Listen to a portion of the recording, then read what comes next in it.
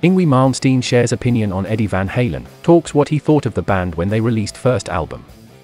The guitarist also names his favorite Van Halen song.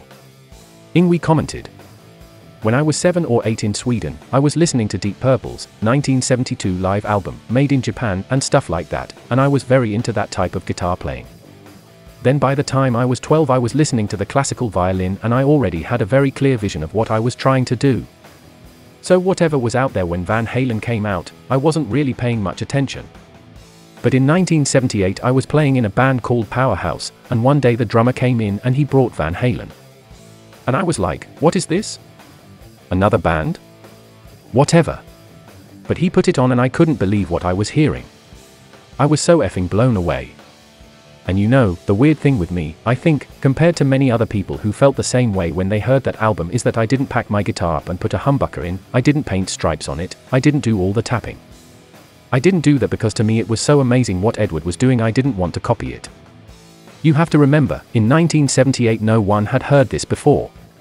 And even though Edward wasn't the first person to tap, he put it on the map. No one did it like him. But what really knocked me out was the energy and the don't give an F attitude that the whole band had.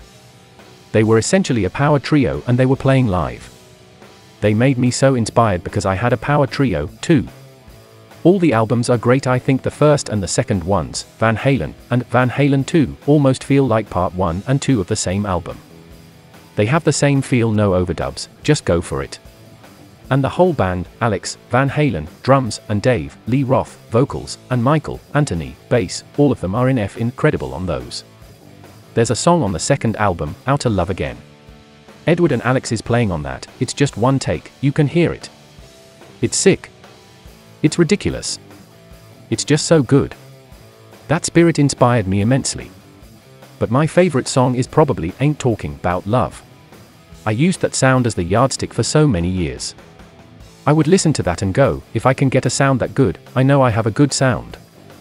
And the riff is just F equals in ridiculous. But overall, it was the whole turn your effing stuff up and go for it thing that really got to me about Eddie. The impact he had on me was unbelievable. On all of us. It's just crazy. You've got to remember, too, I lived in a socialist country and it was basically, you can't do this, you can't do that. Everything was very no, no, no, no, no, and when Van Halen came out, it was just F you all. And I loved it.